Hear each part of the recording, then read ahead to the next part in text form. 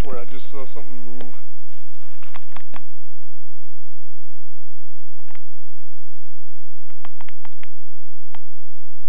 Holy shit, I did.